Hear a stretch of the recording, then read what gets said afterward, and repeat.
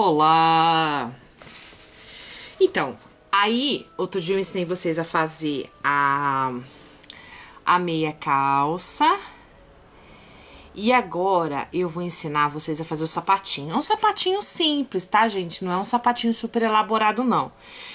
Eu posso até vir aqui ensinar vocês a fazerem um sapato mais elaborado também, tá? Normalmente eu faço assim, você vê que eu já deixo o formato do pezinho, no, o formato do pezinho já no formato de um sapato alto.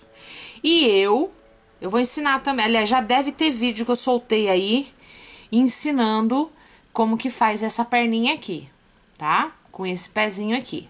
Aí vocês, pro seu, se eu já soltei a aula, eu vou deixar aqui no cards para vocês verem, tá bom? Então, ó, eu pego um pedacinho pequeno de massa, não tem como eu pesar porque é muito pouquinho, e eu vou preenchendo aqui como se eu tivesse contornando, ó. O pé. Porque como eu já deixei no formato, ó, eu já consigo dar o formato do sapato alto. Esse sapato aqui não é, esse sapato que eu tô fazendo é, é esse sapatinho aqui, ó. Tipo de dançarina, sabe? De bailarina, ó dançarina de, de jazz, ó. Estilo boneca, tá? Deixa eu botar mais longe que dá pra ver melhor. Tá bom? Então, ó, o que que eu fiz? Eu fiz o contorninho, ó. Aí, depois que eu fiz esse contorno, eu vou colocar uma minhoquinha pequenininha. É pequenininha mesmo, tá, gente? Em volta, que é para fazer esse pedacinho aqui, ó. Então, ó, eu faço, pego uma minhoquinha, eu não uso uma ferramenta de, de peso nesse caso, porque é muito pequeno. Então, eu acabo fazendo no olhômetro mesmo. Ó, fiz uma minhoca, certo? Aí, eu vou colocar essa minhoquinha aqui. E, ó, cortei, agora eu venho nesse pedacinho aqui também, nos dois lados, ó. Pra preencher, ó, tá? Dou uma apertada, que depois eu vou alisar com o alisante. Teve alguém que me perguntou aí sobre o alisante, tá, gente? É, o alisante, é assim, eu tenho aqui, eu vendo para as minhas alunas, tá? É, é uma química, não sou eu que faço, tá? É que meu pai trabalha com química, ele, ele, ele mexe com silicone, ele mexe com um monte de coisa. Então, o, o fornecedor acabou arrumando isso aí para mim, que é um alisante, que a gente alisa, é, é que a gente pode estar tá utilizando no biscuit. Quem não tiver um alisante ou alguma coisa do tipo, pode estar tá usando, é, pode estar tá, tá usando água, tá? É, tem várias artesãs que vendem também. Se alguém quiser o meu, pode entrar em contato comigo que eu vendo, tá? O potinho. Um potinho assim, ó. Se alguém quiser, eu vendo também, tá? Aí eu coloco lá na minha lojinha pra vocês. Mas com a água vocês conseguem também, que o alisante é um pouquinho melhor. Ele não faz aquela mancheira toda, sabe? Quando você mexe com a água, que fica tudo manchadinho. Então eu prefiro devido a isso, mas não que não tenha um substituto, tá? Quem tiver interesse, entre em contato comigo. Aí depois eu vou fazer o quê? vou pegar uma outra bolinha, opa, outra bolinha pequenininha, achato. E aí eu vou colocar aqui na frente. Ó. Coloco aqui na frente, ó, aperto.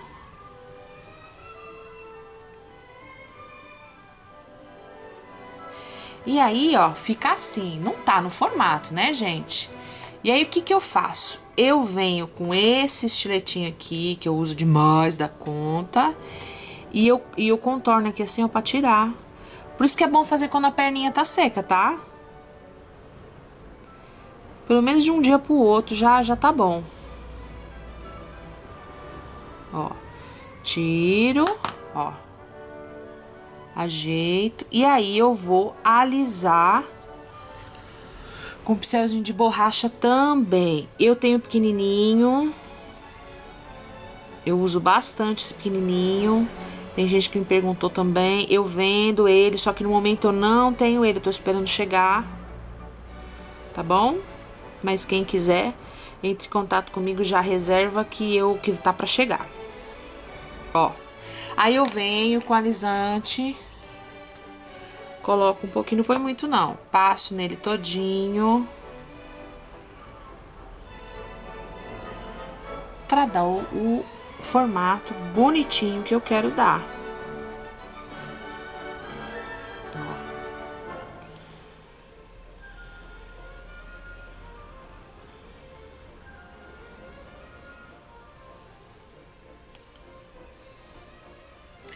Depois que eu dou esse formato, o que, que eu preciso? Eu vou fazer o saltinho. Para fazer o saltinho, esse aqui não é bico agulha. Como não é bico agulha, eu vou pegar uma é aqueles aquele salto quadradinho, sabe? Ó, eu pego mais um pedacinho, faço um croquetinho pequeno, coloco aqui, aperto, ó, Tô com um alisante aqui.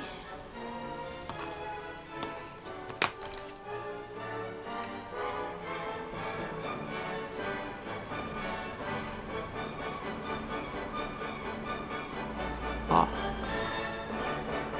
E aí eu vou acertar o saltinho do jeito que eu quero, ó. Eu acho que esse aqui tá maior que, o, que esse outro que já tá... Ah, eu vou cortar um pouquinho. Venho com a tesourinha pequena Dou uma cortadinha, porque eu não vou usar tudo isso, claro.